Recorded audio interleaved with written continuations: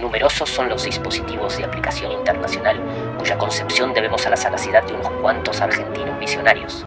Entre ellos, el sistema dactiloscópico de clasificación de huellas digitales, concebido en 1891 por el policía Juan Bucetich. El bypass cardíaco, creado por el doctor René Favaloro en 1967. El bolígrafo, patentado en 1943 por el bondadoso argentino húngaro Ladislao Viró la milanesa a la napolitana, puesta en circulación por el cocinero Jorge Lagrota a comienzos de la década del 40, y la picana o parrilla, diseñada por Leopoldo Polo Lugones, hijo del renombrado poeta, a principios de la década del 30.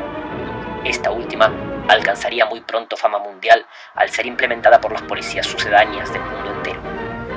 El éxito obtenido por este ingenioso método de tortura que le valdría el unánime reconocimiento de los altos mandos de la Escuela de las Américas como uno de los procedimientos favoritos de contrainsurgencia.